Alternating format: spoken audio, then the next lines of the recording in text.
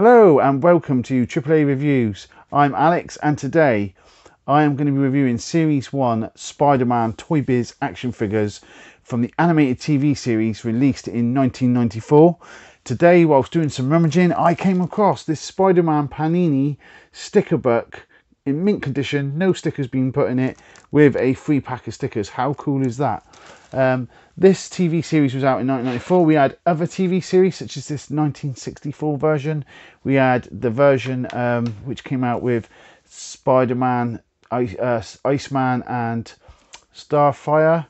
Um, so there was lots of versions, but this for me was the best version. And being a 90s kid, growing up in the 90s, this was second best probably to the X-Men TV series, but it was wow, they was just so good. And there were so many cameos in this. The X-Men were even in this TV series. So today I'm going to be doing series one. If you haven't already, please hit a like, please subscribe, please turn on notifications and please share with your friends to help this channel grow. I would really appreciate it. And with that said, let's get on with this review. Okay, so starting off this review, we have got the web shooter um, Spider-Man with web projectile. It does limit his articulation, so in one arm you can bend the elbow on the left, but on the right hand side his arm sort of uh, one length. That's because you sort of can pull the web back in, which is down here. A really cool representation of the figure and the character from the cartoon. So a really good Spider-Man overall.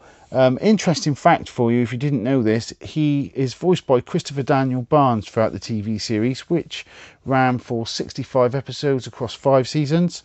Um, and an interesting fact, Daniel Barnes also voiced Prince Eric in The Little Mermaid. So if you didn't know that, you do now. Price wise, this Spider-Man comes in at $35 in the US, £50 in the UK and $50 in Canada. That's your average price. They can be higher, they can be lower, but this is the average cost depending on where you live. And he comes in at 15 US dollars, 11 UK pounds or $30 in Canada.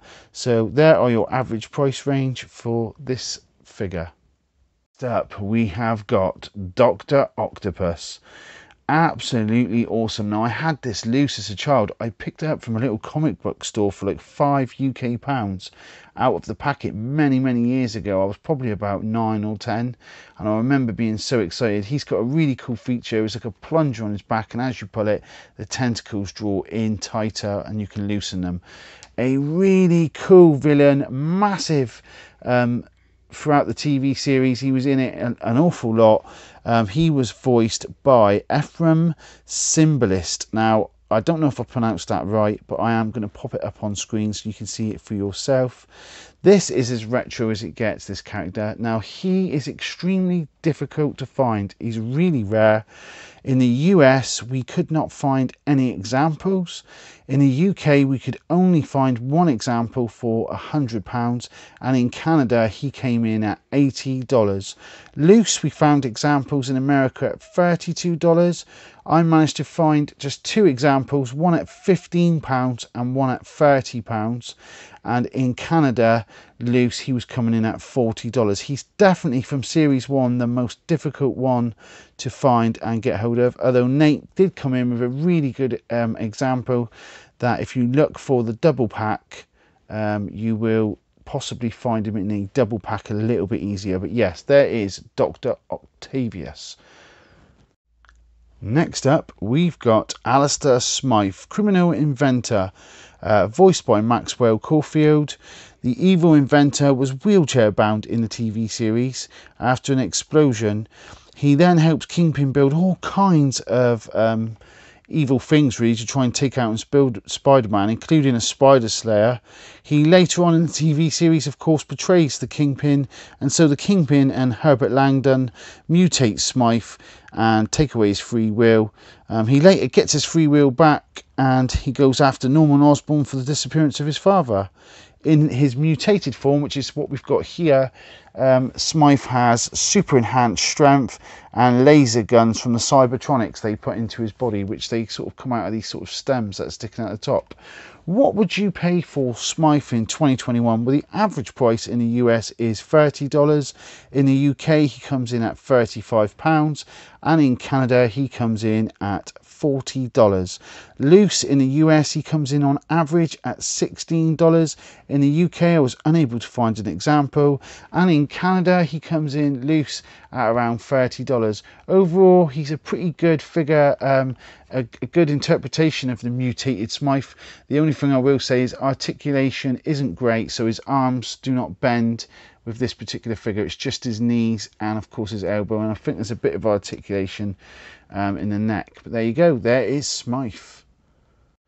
Let there be carnage. So we've just had the movie, um, the second Venom movie. So this seems like a really cool figure to bring you. Interestingly, he didn't appear until season three, um, episode 12, I believe. Um, Cletus Kasady, evil, insane, um, is in Ravencroft Institute for the criminally insane, um, and he ends up getting some symbiote on him, which turns him into Carnage. So it was really cool. They don't actually allude to him being a serial killer in the cartoon, of course, but there he is, there is Carnage. What would you pay for Carnage? Well, in the US, on average, he comes in at 45. In the UK, he comes in on average at 45 pounds. And in Canada, he comes in on average at $40. In the US, loose, he comes in at $22. In the UK, I found a couple of examples at 15 pounds. However, not all came with their accessories because he has these cool snap-on accessories. And in Canada, he came in at $30 loose. A really cool character um, and one that I think is um, strange that he's in series one because he doesn't come out in the actual animated series until season three. But this is one of the ones they chose for season one, but nevertheless, really cool. Next up, we have the Lethal Protector Venom, um, a really cool figure with chomping action. Um, that is the gimmick for this figure. This is absolutely awesome. So the, the symbiote leaves uh, Peter Parker in the animated series and finds its way onto Eddie Brock, who doesn't like Peter Parker, and they do not like Spider-Man. And so what do you get then? A super villain to fight Spider-Man with. He has incredible strength and he can nullify Spider-Man's spider sense. So that is really cool. Um, he, he is a awesome, awesome character. He takes out Shocker and Rhino when he first arrives in the animated series, and the symbiote has amassed knowledge from thousands of worlds and millions of civilizations, also it could survive, and it is now sharing its knowledge with Eddie. He, of course, hates both Spider Man and Peter Parker. A really good figure. Price wise, what would you pay? Well, in the US, on average, he comes in at $55. Um, to give you kind of an idea, you can find him at $40 in the US, or you can end up paying 63 So the average there is 55 Just kind of helps you when you kind of wonder where we get our average prices from. Um, just sort of try to explain how it works a little bit. In the UK, the average price for this one is £65, and in Canada, Canada, he comes in at $55. Loose, you can pick him up at $18 in the US, although I would warn you that a lot of the time the paintwork is damaged on this one. Um, it's something X-Men creators noticed when he was doing his searching. Um, in the UK, I could not find an example, and in Canada, he came in at $30 loose. Next up, we've got the Hobgoblin, who of course is Jason Philip Macendale, voiced by none other than Mark Hamill, um, a criminal mercenary with some super tech supplied by Oscorp, who hires him to kill the Kingpin. He of course flies on his glider, hurling pumpkin bombs, of which he has three types, a gas one, a concussion one, which has like a shock element to it, and a fragmentation one, which is obviously a sort of grenade style um, pumpkin bombs. He has a laser gun, shot gloves, um, a razor bat, which he later gets, um, which is similar to the razor discs that he throws. He is absolutely awesome and completely evil and will do anything for money. He is a mainstay in throughout the TV series. A really cool figure um, and as retro looking as it gets, if you ask me. Now, sadly, as a child, I didn't have this one. I didn't have many of these. I did have um, one which I'll show you in a minute, which was just a small one from a packet of cereal, which I still have to this day. Price wise, what would you pay for the Hobgoblin? Well, in the US, he comes in at $60.